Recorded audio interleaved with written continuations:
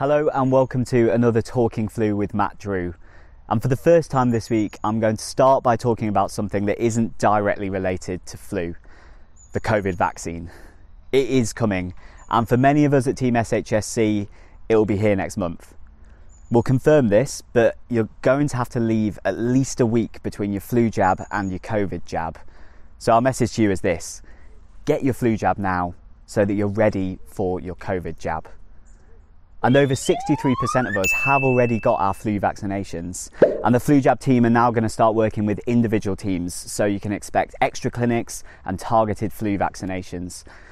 And if you haven't got your jab yet and you want to, have a look on the internet. All the information about the clinics and peer vaccinators is on there.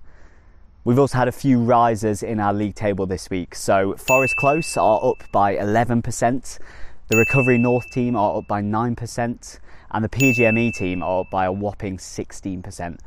Well done to all of you. Now, today we're going to talk a little bit about causality, where one event, process, state, or object, a cause, contributes directly to the production of another event, process, state, or object, an effect.